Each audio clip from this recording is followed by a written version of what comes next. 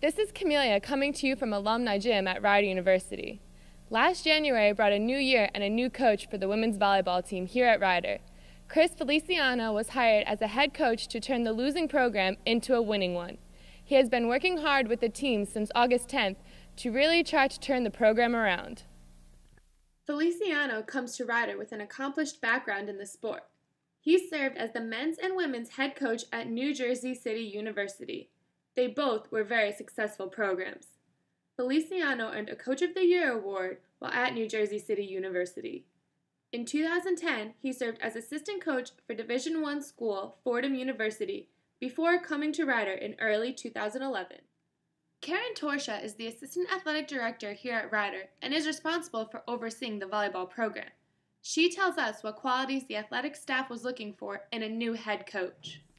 Basically, we were looking for somebody with a lot of energy, young, had some Division One coaching experience as well as head coaching experience. Somebody who was going to bring just an energy and be able to change the culture, and, and we saw all those things in him. Returning player and captain for the team, Stephanie Nudge, also tells us about the culture change that Coach Feliciano is making for the team.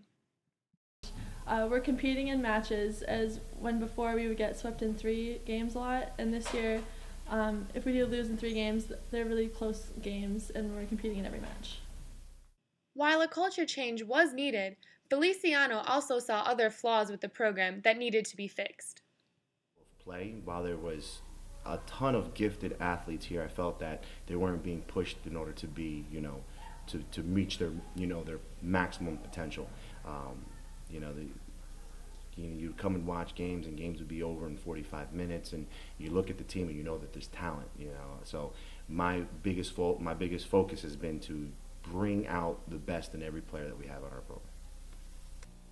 With a record of 4 and 13, Feliciano still has some work to do. Hopefully, he will be able to bring some luck to the Broncs in the future.